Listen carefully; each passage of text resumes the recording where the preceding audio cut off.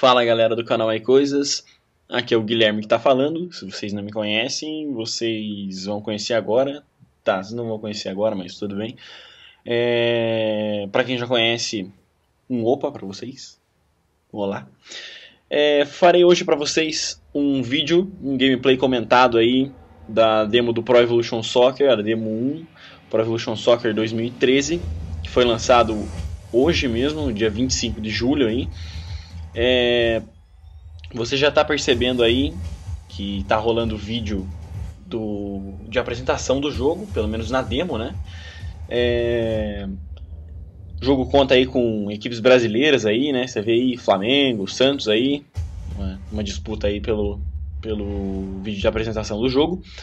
É, o jogo está focando bastante na questão do Player ID, como eles estão chamando, que é a identificação do jogador com o jogo.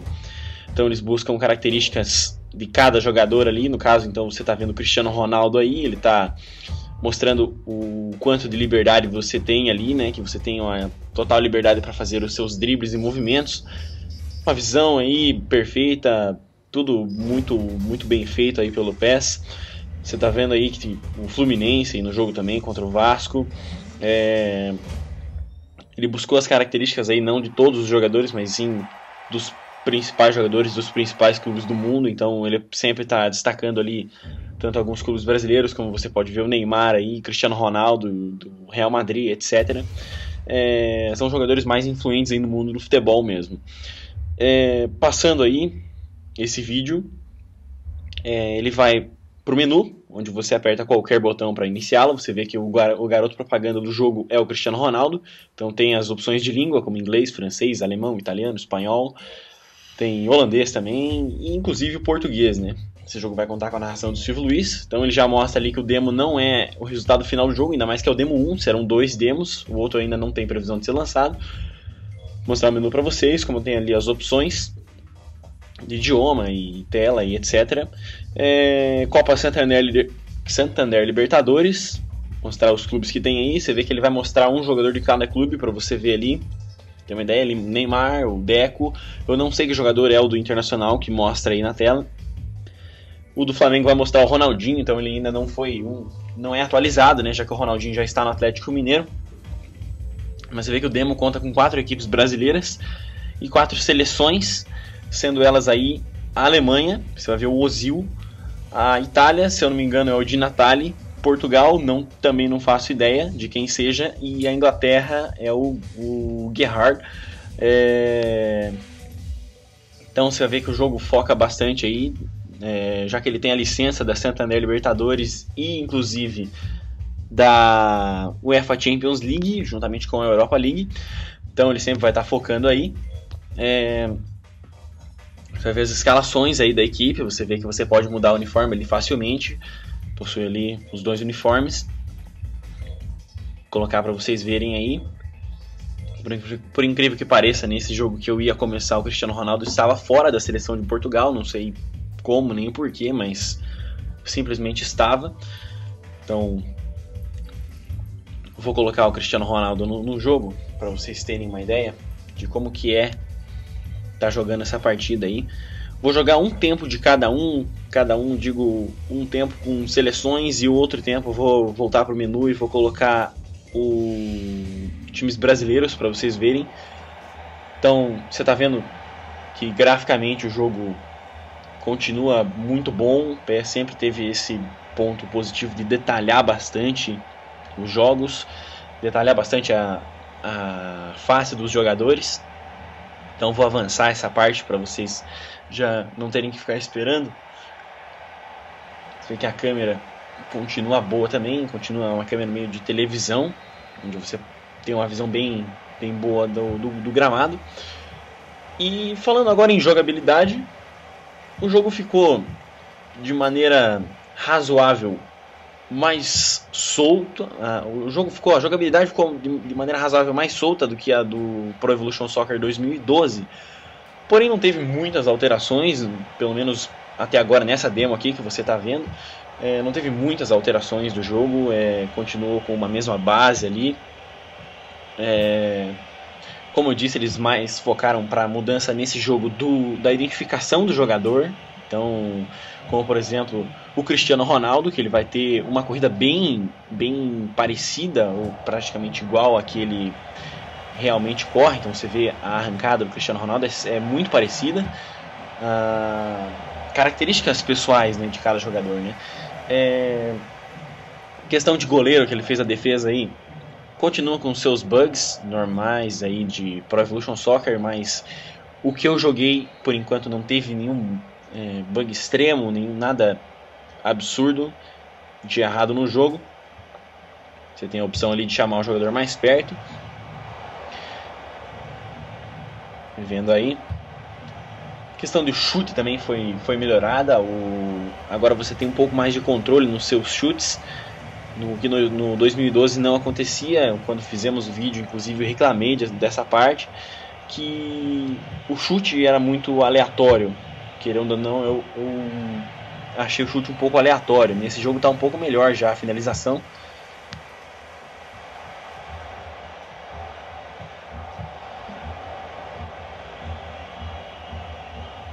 Que a movimentação aí, tanto da zaga quanto é, dos jogadores que estão aí, é, os jogadores do seu time, eles estão se movimentando melhor, eles estão passando para receber a bola você tem um pouco mais de liberdade. Não não queria fazer essa comparação, mas você não tem tanto quanto liberdade, uma liberdade tão, tão grande quanto no FIFA, quando você pode escolher a hora de você dar o bote, mas você pode é, se, você pode movimentar seu jogador bem na frente ali e esperar o adversário para você ir cercando ele e sim e na hora certa você já tentar roubar a bola. Ficou, ficou melhor a marcação também. Então você vai vendo aí os detalhes do jogo que cobrança de falta também não sei bater muito bem, desculpem, mas também é muito parecido com o Cristiano Ronaldo, muito igual. É... Os toques estão melhores também, estão mais precisos. Você pode ter, ah, como, como, já, como já diz ali na, na, entrada do jogo, você tem uma liberdade maior para estar tá realizando os toques. É... Tanto na questão de, de, força quanto na questão de direção, você tem um pouco mais de liberdade do que nas suas versões anteriores do PES. Né? Que a física da bola também está um pouco melhor. O Balotelli chutou a bola forte ali e foi realmente a bola foi rápida pela força do chute.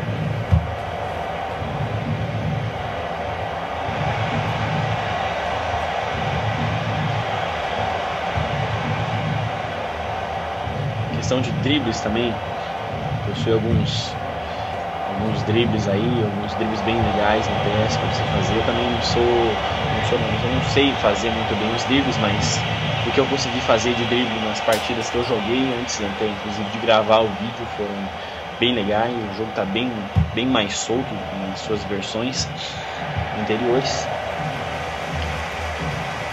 A questão que inclusive estava lendo, não sei como é, é muito provável vai ter o Campeonato Brasileiro no PES, isso não é nada confirmado.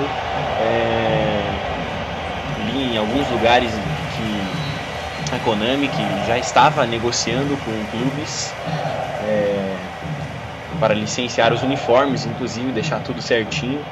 Alguns clubes já haviam confirmado, outros estavam negociando e outros inclusive não responderam é, se, havia, se, estavam negociando ou se já estavam fechados, então não, não havia como saber. A, a única certeza que tem é que todos os clubes da Libertadores estarão presentes, como Vasco, Flamengo, Corinthians, Santos e etc. É... E que acabou o primeiro tempo, vou mudar, vou colocar lá pro, pro jogo do, do, dos, das equipes brasileiras para vocês terem uma ideia de como é. Uma questão que ficou legal também, que eu vou esperar para selecionar e mostrar para vocês. Eu voltei para o menu, colocar na Libertadores, colocar um jogo entre Santos e Flamengo para vocês verem. E detalharam bem ali o Neymar, o Ronaldinho também. Uniforme 1 e 2 do Flamengo, uniforme 1 e esse é o 3 na verdade do Santos, né? A Nike ainda não, não mandou o uniforme 2, né? Então, estádio Urbano Caldeira, que é o único estádio brasileiro aí presente, realmente licenciado aí no jogo, que é nada mais nada menos que a Vila Belmiro, estádio do Santos. Então você vê aí que o estádio igualzinho, muito bem feito. É... Estádio do Santos. Vou mostrar para vocês como é o jogo entre equipes brasileiras. Vocês verem aí são torcedores aí dessas equipes. Não sou torcedor de nenhuma delas, mas conheço bastante ali do futebol nas equipes brasileiras, então sai no Futile. O jogo ficou muito, muito bem detalhado nesse aspecto, né? o Ronaldinho, o sistema de colisão do jogo ficou bem legal também. Você viu ali a travada que deram no Ronaldinho, ficou bem legal o sistema de impacto.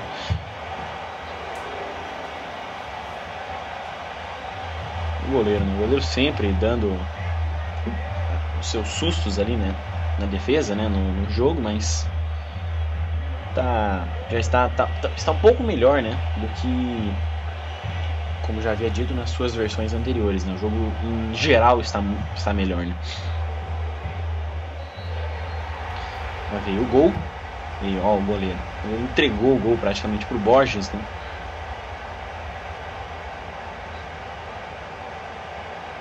Interessante que eu estava dando uma lida na internet e vi que colocaram inclusive a dancinha do Neymar com o ganso de Ai se eu te pego nas comemorações do, do gol do Santos. Então, detalharam inclusive as comemorações dos times. Outra coisa que detalharam, que, que colocaram no jogo, perceber, é a torcida. Então, a torcida do Santos também está presente no jogo. Quero que vocês escutem e prestem atenção, hein?